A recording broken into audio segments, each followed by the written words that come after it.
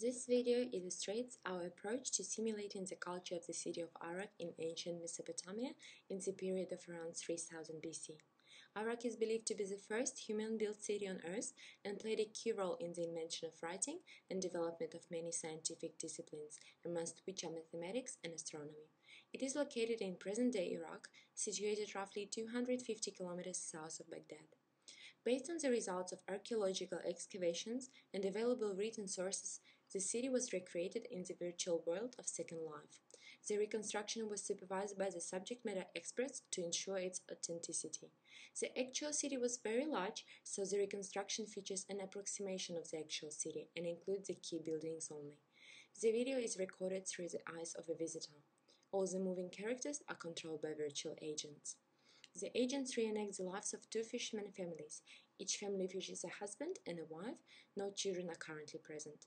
The agents literally live in the virtual world of Second Life. The day is approximately 15 minutes long and starts with waking up on the roof of the house. The wives would wake up first to collect some water from the well, start the fire, and prepare breakfast for their husbands. Sleeping on the roof is due to the very hot climate.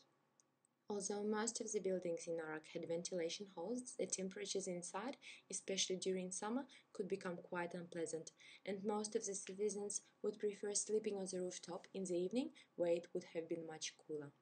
Each of the houses would also have sleeping mats inside, but these were mostly used for the afternoon nap. To enable these scenarios, we have used the Virtual Institutions technology. This technology is supplied with the agent library, allowing to program the agent behaviors and facilitating the use of 3D objects by the agents. Our technology also enables formalizing institution. The institution captures the social structure, rules of behavior, interaction protocols, and social norms. As you can see in the prototypes, the agents interact with each other and synchronize their actions. This is enabled by our technologies through letting the agents exchange text messages with each other. They also communicate with some of the objects in this way. One of the biggest differences in the life of ancient Sumerians that we try to highlight compared to the way of life of modern people is the lack of recreation time. The members of the featured fishermen families, especially women, are constantly working. The men can afford to have a morning chat while waiting for the breakfast to be prepared for them, but their day is also filled up with work. After a short chat, the fishermen would have a light breakfast, then they would collect their fishing gear and head to the city gates. Outside of the city walls, they would find their fishing boat. Their social status is not very high, and therefore they have to rely on each other constantly and share their possessions with each other. The boat is owned by the older fishermen, while the spear is the property of the younger fishermen. They are also highly dependent on each other, as one of them has to paddle the boat and another fisherman has to catch the fish. The object used by the agents is also quite complex the objects can be taken, carried around, dropped, and exchanged. The, the case of the boat illustrates the complexity of object use. You see two agents on top of the boat object and having the basket object that was brought from the city placed next to them, while the boat object itself is moving along the river.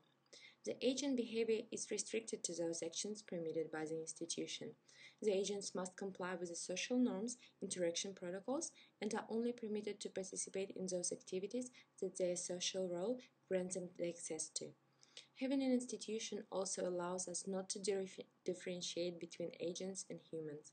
For an agent, it potentially doesn't matter whether it interacts with the agent or a human, as long as the human follows the interaction protocol specified for the given scene. For example, it is clearly expressed that the fishing scene is activated by the boat keeper who has to collect the pedals and board the boat. Only then the younger fisherman can join him. Once both agents board the fishing boat, the boat can start moving and the fishing process begins. At present, the agents don't interact much with the human visitors.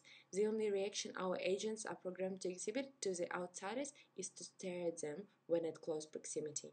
In the future, we will let the visitor choose a certain social role and be actively involved into complex interactions with the virtual agents.